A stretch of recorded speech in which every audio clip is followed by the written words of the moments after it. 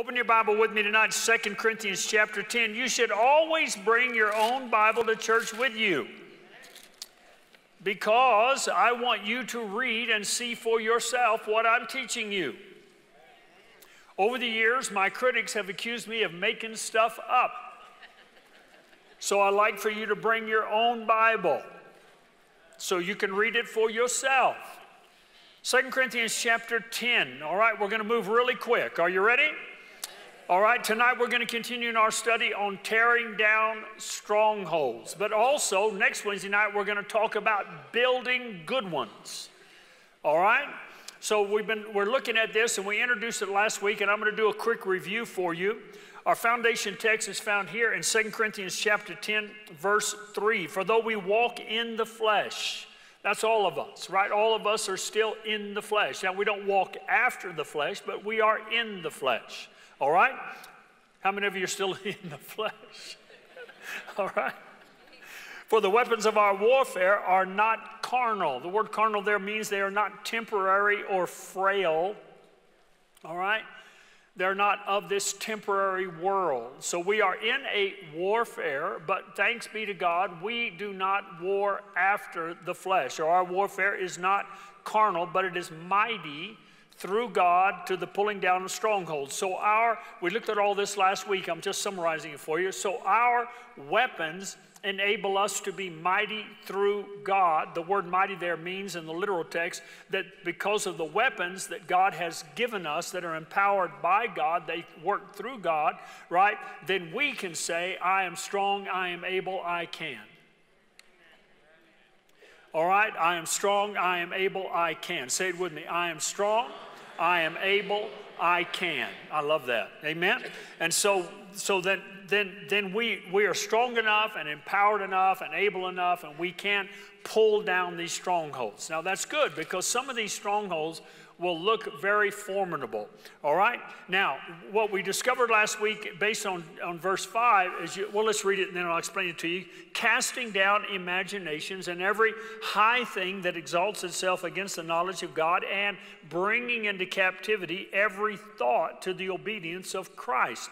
Now, when most, when, when some Christian people think of strongholds, they think of strongholds that would be like a spiritual enmity in heavenly places, Ephesians 6:12, right? That we war, that we wrestle not with flesh and blood, but with principalities and powers and wicked spirits in higher heavenly places.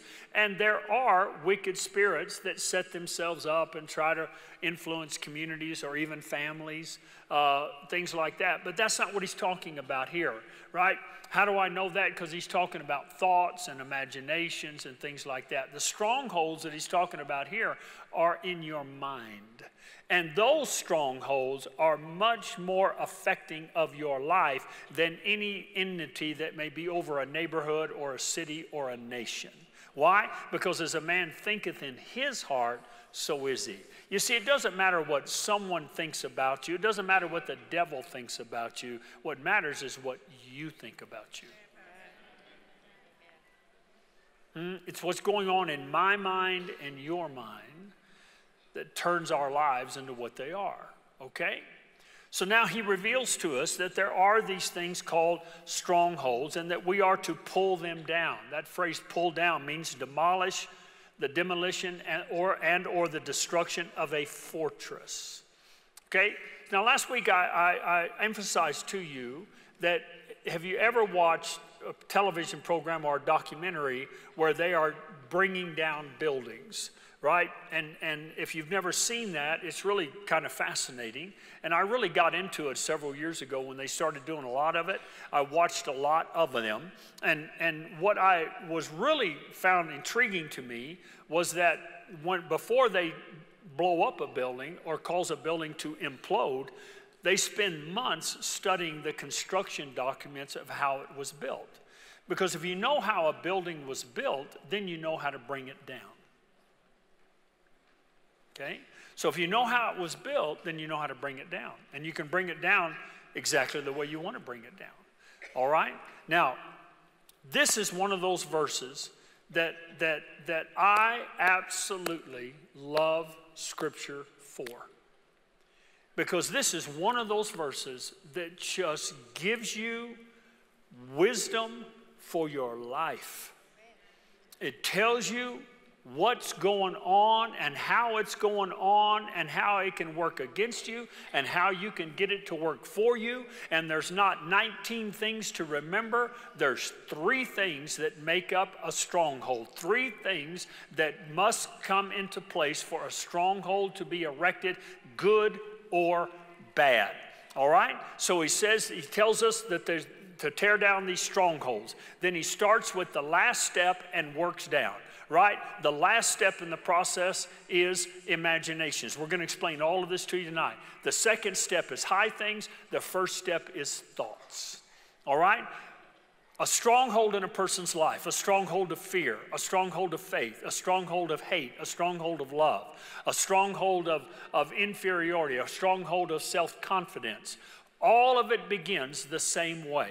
It all begins with a thought. All right? It all begins with a thought. All right, now that, that now I know some people say, oh no, there's more than that. No, it begins with a thought.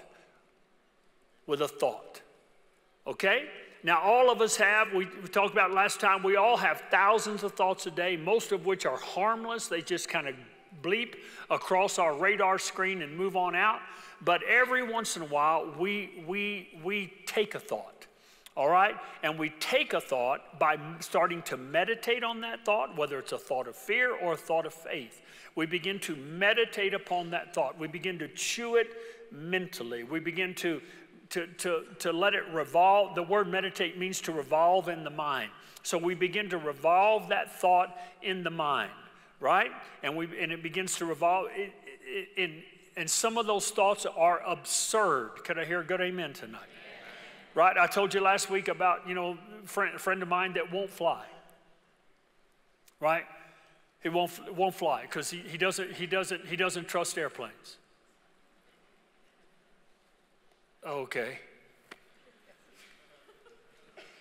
I mean, I, I, mean, I can't, I can't, I, I, I can't even explain that to you. All right? And there's probably some of you in here tonight that, that if I started poking around long enough, we could hit in your life some fear that you have that makes no sense. But yet you have it. And I'm not picking on you, I'm showing you how to tear that thing down so you can be free. It began with a thought either a thought that came to you in society or friends or family. It came to you in a thought and, and, and, and, it, and you began to meditate upon it. You began to revolve it around in your mind, right? Or you began to speak it. In Matthew 6, Jesus said, Don't take a thought saying, right? You can own a thought, you can make a thought yours by beginning to speak it, by beginning to declare it out of your mouth. I can't, I'm weak, I'm no good at math, I can't do that, I could never amount to anything, no one in my family has ever succeeded right? Huh? So you own that thought. That thought becomes yours by speaking it. Life and death is where? In the power of your tongue. Proverbs 6 2 says, You are snared by the words of your mouth. Hmm? I don't do it, you know, but I'm telling you, there are times when I'm out in public and I just want to walk over to people and say, Shut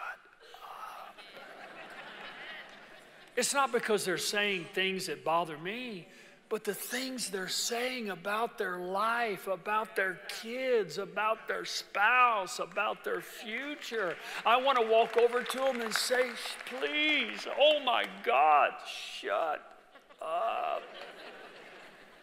You have spoken enough doo doo out of your mouth. I'm getting better. You notice that? I used to just, yeah, you've spoken enough out of your mouth to keep you in for the next five years in one conversation. Please shut up. But they just keep on rolling. Hmm? Wow. Wow. How many of you glad you're in church and you can learn how life works? Amen? I mean, I, I am in love with this book, all right? So there's thoughts. Number two, now let's get into it. We talked about thoughts last week. Let's go to the second thought. Thoughts are defined as concepts of the mind, all right? So now he says we are to bring them into captivity. The word bring means subdue, bring into subjection to the obedience of Christ or in compliance to the, now I didn't give you this last week. Write this down. This is spectacular. Are you ready? So he's bring every thought to the obedience of Christ. Now, he's not saying every thought that goes through your mind. No, he's talking about those that lodge those that you begin to revolve, those that kind of stick. You know what I'm talking about? He says to bring that thought, judge that thought, subdue that thought, bring it into subjection to the obedience of Christ. The word obedience there means compliance, but listen to this. In the literal text, it refers to the obedience of a slave to a master. So your thoughts are in truth slave to you. And to Christ. So your thoughts, you can control them. Don't ever believe the lie of the devil that you can't control your thoughts. I can't control my thoughts. They're your thoughts. Amen. Quit believing the lie of the devil. They're your thoughts. You can put your mind anywhere you want it. Anywhere you want it. So we bring it into the obedience. So, you know, a thought begins to revolve in your mind. You begin to meditate on it, right? You find yourself thinking about it. And you know what you ought to do? You ought to judge it according to the scripture. You ought to judge it according to what Christ did for you at the cross and the resurrection. You ought to judge it. You, ought to, you need to submit that word, that thought, you need to submit it to Christ. Amen. That's what he said, right? Now, if you do that, that's the end of the stronghold. Bang. But it's when you don't do that that then over time it turns into a high thing that exalts itself. The word high thing means proud adversary. Are you learning anything tonight, right? So that thought then evolves into a high thing. Listen, listen to what it says that exalts itself. Watch. So it, it exalts itself against the knowledge of God. In the Greek text, the word against is a hostile word. That's what it says in the Greek dictionary. It is a hostile word, and it refers to something, something that is lower, trying to take something that is higher and pull the higher down and bring the lower up. All right? So the lower actually attacks the higher and tries to bring the higher down and exalt the, high, the lower above it. Now, where does all that come from? Isaiah. Isaiah. Isaiah, Pastor? Yeah, Isaiah. God said, I know who you are. You were Lucifer, and you said in your heart, I will exalt my throne above God's. I will sit on the sides of the north. I, the sides of the north means I will be head of the church. So that exalting comes from none other than Satan's kingdom, right? So there's God, the not, look at it again. You got it? Look at your scripture. What does it say? Every high thing that exalts itself against what? The knowledge of God. All right? So the thought comes, and we are to judge the thought with the word, with the knowledge of Christ. Got to get a good amen. But if we don't, then what happens is that thought then will begin to exalt itself against the knowledge of God. That thought will try to elevate itself above what God has said in your life. Are you learning anything tonight, right? So that thought then will, will elevate. It gets proud, it gets arrogant, right? It begins to exalt itself. Boy, this is good teaching. Hmm? It begins to exalt itself against the knowledge of God in your mind. It'll actually tell you, yeah, the Bible says that, but that's not true.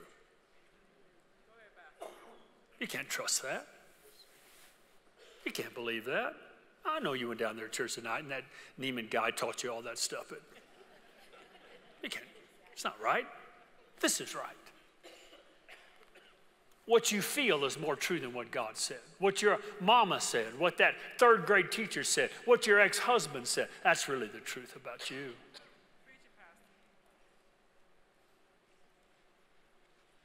Hmm?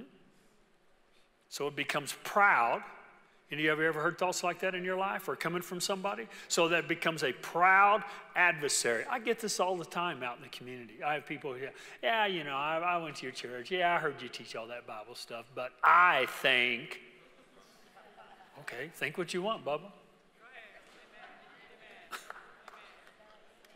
you see what that is? You see what that is? It's right there in front of you. It's right there in front of you. Once you see this, you'll pick it out all the time. You'll see it. You'll, you, you, it'll, it'll scream at you in the world that you live in. Because there are people all around, not being judgmental, but there are people all around us that have, have strongholds in their mind of doubt and unbelief and all kinds of stuff in their life that is stopping them from having the life that God wants them to have. And it all began with a thought that now is a proud adversary.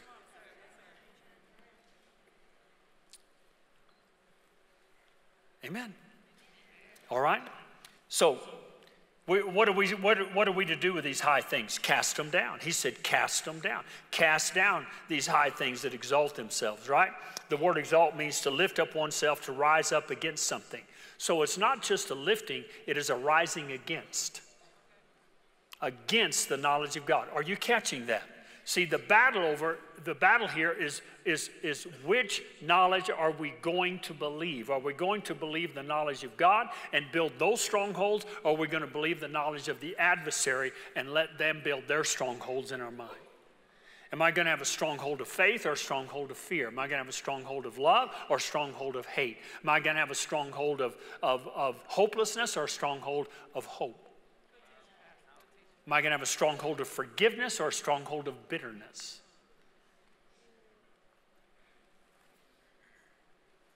They all begin with a thought. That guy doesn't deserve to be forgiven. Never asked you to forgive him. Why do you want to forgive him? He's a jerk. You don't want to forgive him.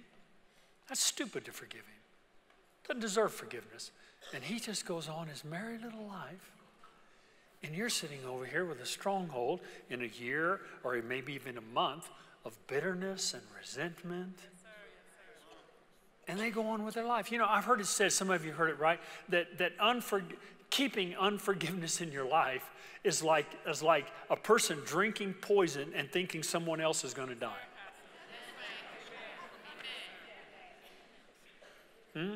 I'm going to hold this and you're going to feel bad. No, they just, have you noticed that? Am I the only one that's noticed that? Right? You know, I mean, I'll be honest with you, right? There's times in my life I held on to it, man. I, I you know, I've, I've been honest with many of you, you know, uh, that, that turn the other cheek, walk in love thing, love your enemy. I, yeah, that, that was, yeah, that was, that was like, yeah. It took God a few years to work on that with me, all right? And, uh, and I found myself sometimes just holding on to grudges and th- meditating on revenge and figuring out how I was going to get even, right? And these other people, they're just living their lives. They're happy. I'd see them around town. Hey, Charles. I'd be, you know, and they'd be getting in their things and, oh, we're going to Hawaii. And I'm, it's crazy right? It's crazy. And you know what? See, I had this stronghold of anger and bitterness and resentment, and it wasn't hurting them. Was hurting me. I mean, what's the point? Amen? But see, you see how that stronghold got in me? A thought came to me and said, they hurt you and, you know, they, you know, and you start meditating and then you start thinking about it, right? And then and then that that that thing that started low begins to exalt itself against the knowledge of God. See, it starts coming up. Come on. It starts coming up in your life. It starts exalting itself against the knowledge of God. And all the time, God's word that's up here starts being pulled down because this thing is coming up and up and up and up. And forgiveness goes to the bottom and unforgiveness begins to reign or whatever hate, fear, poor self image. Right? that you, that you can't get off of drugs or alcohol or that you can't get a degree or whatever.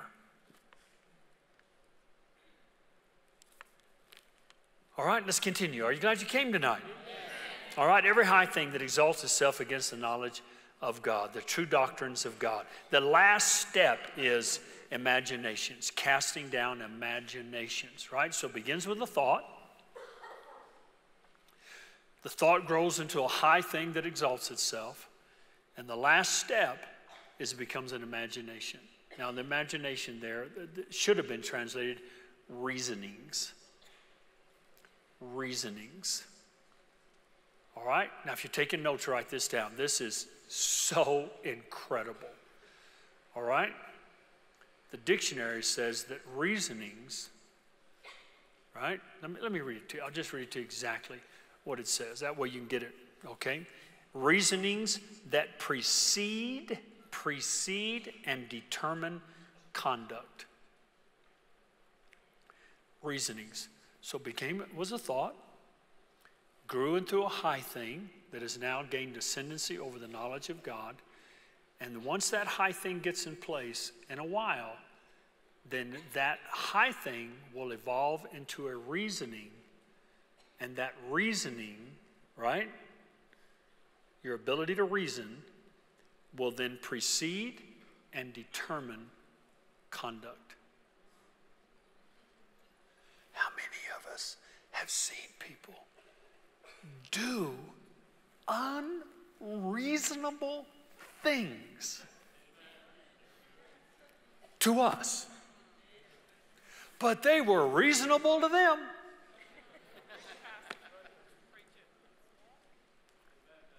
Hmm? I couldn't sleep the other night, and there's some wild stuff on TV when you can't sleep. How many of you know what I'm talking about? There is some funny programming about one o'clock in the morning. I mean, like, and I got to watching this show about the stu- oh, the unreasonable things people do with things that have wheels cars, go karts, scooters, rollerblades. And one of them was a kid, like about a high school kid, already had a cast on his arm. and he's out in front of a house with his clown friends, and he reasoned that he could jump over a car that was coming towards him. I know. I didn't want to watch. I kept telling myself, Charles, you shouldn't watch this. This is sad. But I couldn't take my eyes off of it. It was like, no. And so he's, but the part I couldn't take my eyes off was, was he already had a cast on his arm, which could mean that he had already done something unreasonable.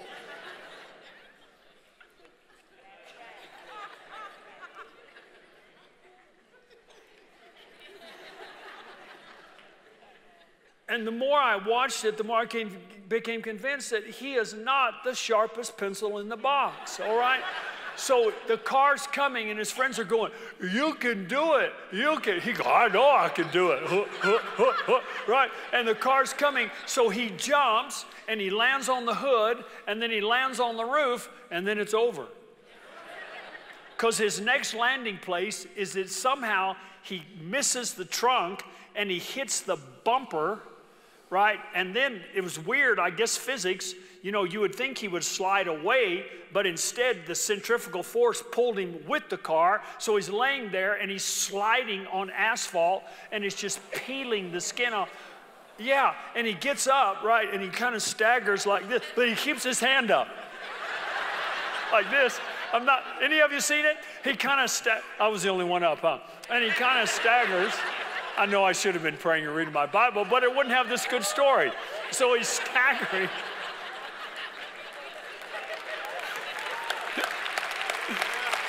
Oh, God help me. Right? So he's, he's staggering, right? And then he tries to walk and he goes, Oh my God, guys, I can't walk. And I'm like, No, I guess you can't. You probably just ruptured every disc in your back. But somehow, that seemed reasonable to him.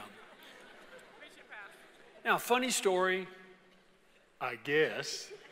We probably all need to repent for laughing at somebody else's stuff, but it's still pretty funny. All right? But here, here's my point, right? Reasoning that precedes and then determines conduct. Now, that whole unreasonable act began with a thought. Hmm? He wasn't just walking down the sidewalk and then start running towards the car. No, he thought about it. And I'll guarantee you that God, the Bible says the wisdom of God screams at us in the streets. I'll guarantee you the wisdom of God was standing on that corner going, Don't do it. Don't do it. Remember your arm? But that high thing, you catching it now? Exalted itself against the knowledge of God, and then it became reasonable conduct. And I just got the feeling watching the show that I'll probably see him again.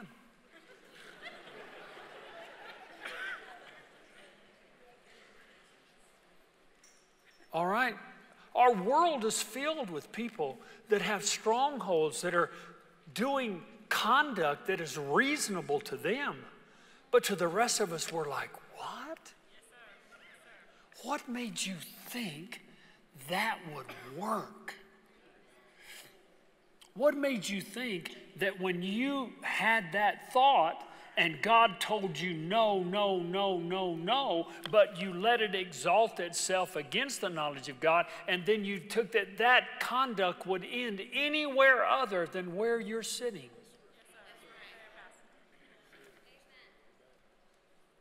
It's amazing, isn't it?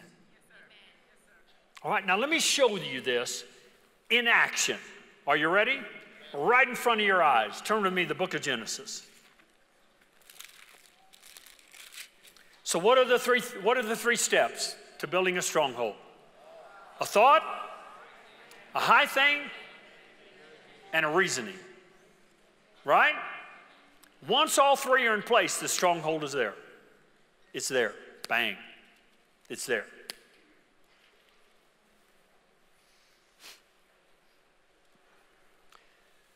Now, see if you can pick them out. I, I, I guarantee you, you can. Genesis 3, verse 1.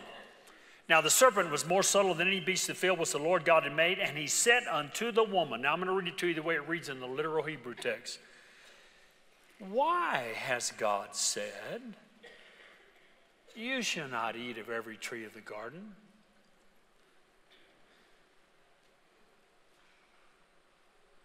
What step is that? Step number one Gave her a thought.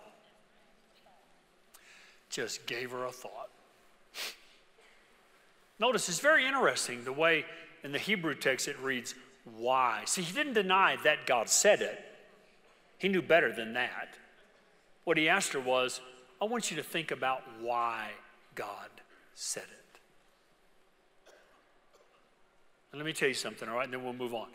That little ploy right there is being played out across the human race to this very day. There are millions of people right now that are, will not come to church, will not, because they think God is trying to keep a better life from them.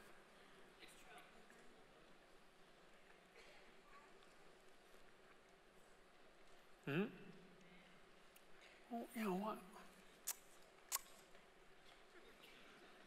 You know, I don't understand.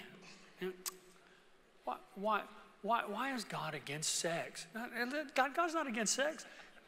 God invented sex. Yeah, humans didn't invent it.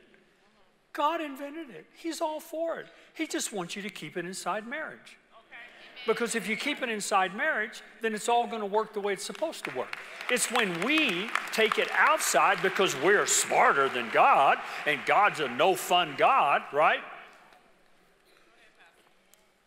And then we end up with all of this other stuff.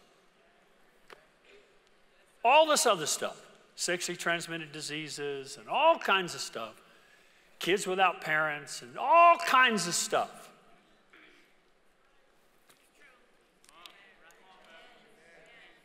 Right? Guilt. All kinds of stuff.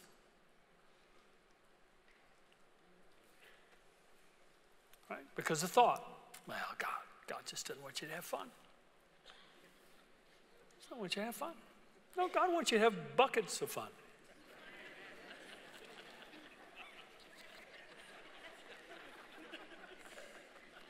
Yeah, He does. Amen. All right, are you ready? Yes. Why has God said you should not eat the tree of the garden? There's the thought. What should she have done? She should have turned to the serpent and said, Shut up. Get out of my garden. Genesis chapter 2, God told Adam and Eve to guard the garden. Guard the garden. Guard the garden. She didn't deal with it. The woman said to the serpent, We made of the fruit of the trees of the garden. But of the fruit of the tree was in the midst of the garden. God has said, You shall not eat it, neither shall you touch it, lest you die. God never said anything about not touching it. Go read chapter 2. He said, Don't eat it. Now, why Eve added that little part there, I don't know. But she did. Okay? Verse 4 And the serpent said to the woman, You shall not surely die. What's that? What did God's word say? God said, God said in Genesis 2, if you eat the fruit, you'll die. That's the knowledge of God. What's verse 4? That's the high thing that exalted itself against the knowledge of God. Do you see it? It's right there in front of you, isn't it? Isn't it amazing? It's right there in front of us. A high thing that exalted itself, Satan's proud adversary. You won't die. I don't care what God said. You won't die. For God does know that in the day you eat thereof, then your eyes will be opened, and you will be as gods, knowing good and evil. Knowing good and evil does not make you a god. Satan knew good and evil. He was in a snake. He had to get in a snake.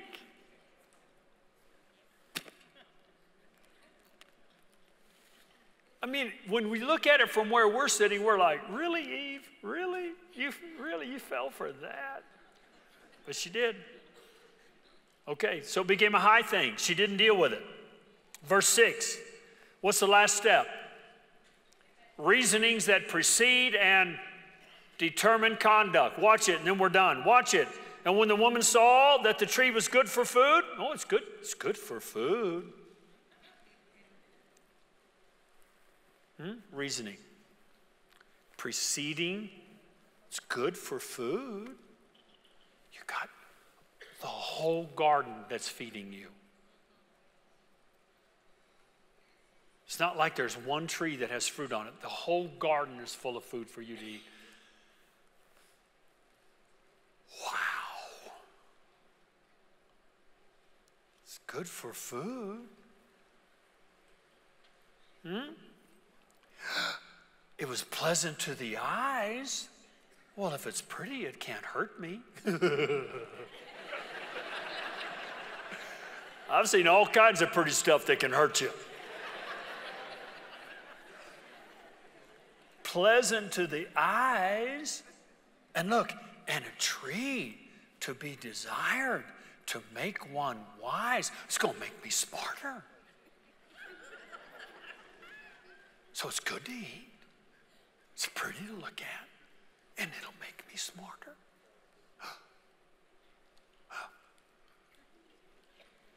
You know, I used to have people tell me that the way Rochelle and I raised Shannon and Jared was wrong because we kept so much stuff away from them that they were going to be too naive.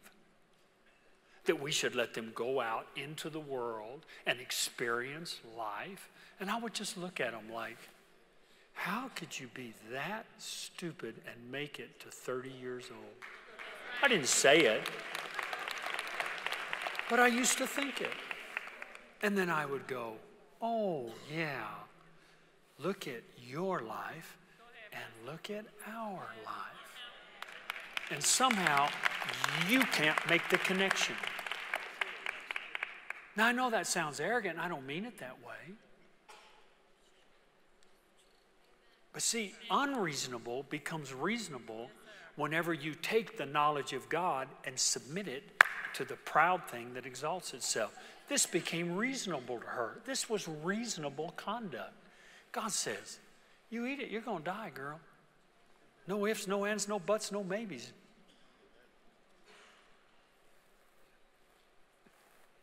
No, you won't.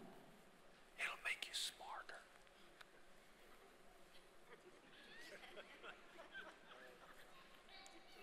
You need it to, for food. Oh my gosh. Okay, let's see if she does it. Okay, I mean, let's follow it out, right?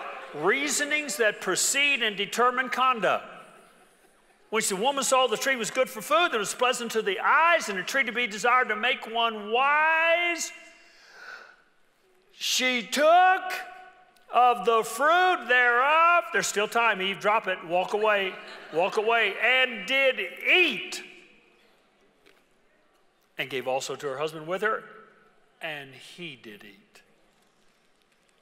And what do we have there? We have a stronghold. Huh? The next words that come out of their mouth is, I am afraid. Birth into the human race was the stronghold of fear. Birth into the human race was the stronghold of sin, the stronghold of rebellion, the stronghold of doubt that we still battle today. Exactly right in front of us what God said. Did you learn anything good tonight?